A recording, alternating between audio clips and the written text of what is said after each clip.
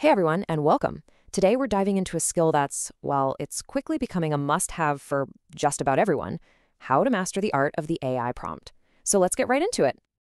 You have totally been there, right? You ask a question, you really need a solid answer, and what you get back is, well, it's generic, it's vague, and honestly, it's just not helpful at all.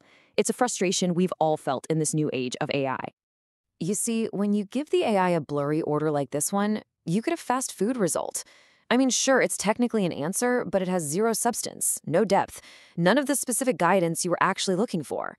It's like you wanted a gourmet meal, but you never gave the chef a recipe. And that really gets to the core of it. The secret to unlocking the real power of AI isn't just what you're asking, it's all about how you ask it.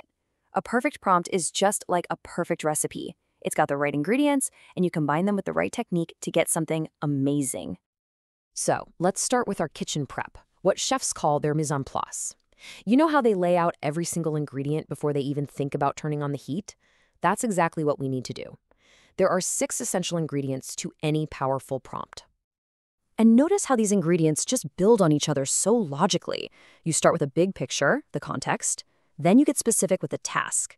You add specificity to really sharpen the focus, you pick a format for the output, set the right tone, and then finally, you add any constraints. Layering these six things together is the foundation for a much, much better AI response. Okay, so we've got our ingredients, but a great dish isn't just about what you put in, it's about the technique, right? It's how a master chef combines everything. And that brings us to our prompting power-ups. First up is the one we all use by default, zero-shot prompting. This is when you just ask a straightforward question. No examples, no guidance. It's kind of like telling a chef, make me food. Yeah, you'll get something, but it's probably not going to be what you were imagining. Now, this is where things get way more powerful. With few shot prompting, you're not just telling the AI what you want, you're actually showing it. By giving it a couple of examples of what a good input and output look like, you're giving the AI a pattern to follow. You're basically guiding it toward the right answer.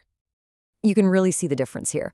On the left, a vague prompt. But on the right, the few-shot prompt gives it concrete examples first, which effectively trains the AI in real time. You're structuring its thinking, and that leads to a far more focused and useful response. Okay, now for a real power move, chain of thought prompting. Instead of just asking for the final answer, you ask the AI to walk you through the process step by step. You know, first do this, then analyze this, and finally conclude with this. It forces the AI to show its work, and you get a much more reasoned, transparent output. This one is so simple, but it's incredibly effective.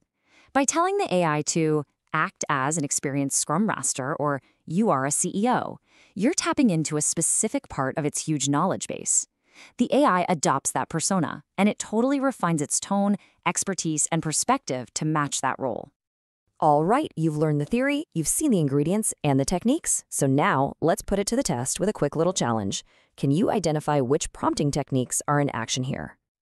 Okay, let's break these down. That first one, describe how to facilitate. What do you think? That's a classic zero-shot prompt. Now the second one, as a Scrum Master, that's a dead giveaway for role-based prompting. The third one, with that step-by-step -step structure, that's chain of thought. And finally, that 100-word limit is, of course, a constraint. So, how do you do?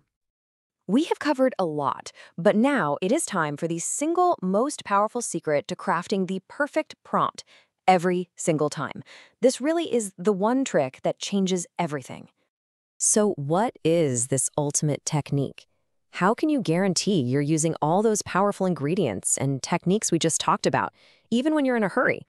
Here it is.